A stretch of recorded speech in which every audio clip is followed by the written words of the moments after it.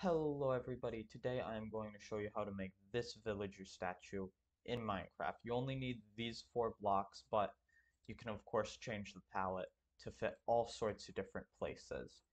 If you enjoy this video or find it helpful, you know, if you add this to your world, make sure to like and subscribe, it really helps out. To start with, we're going to make a 3x3 base of chiseled stone bricks, and then add some stairs on the front and back of that. Then you'll want two high of stone brick in the middle.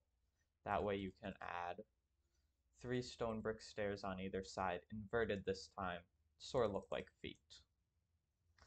Above that, we're going to have another layer of chiseled stone bricks, followed by three layers of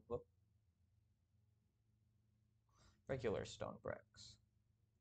Then another layer of chiseled stone bricks, a layer of regular stone bricks, a layer of chiseled stone bricks, and then again a very large five layer thing of stone bricks, but only on the back two blocks.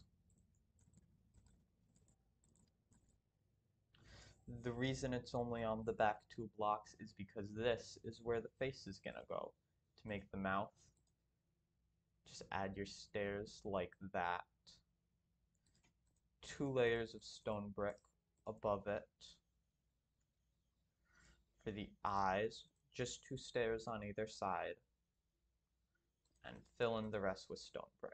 We're then going to give this guy a slab monobrow, and for the nose, place a chiseled stone brick right in the center, and then with stone brick slabs above and below it. Finally, to finish up the head, because villagers got big old heads, again, chiseled stone brick on the top.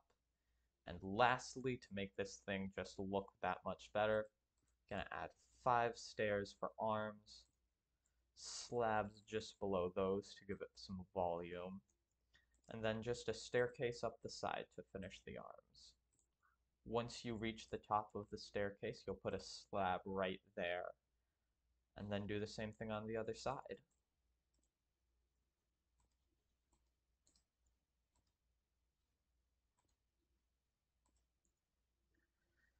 So that is the build, how you do it. And I'm going to show you quickly how you can do it in some other palettes.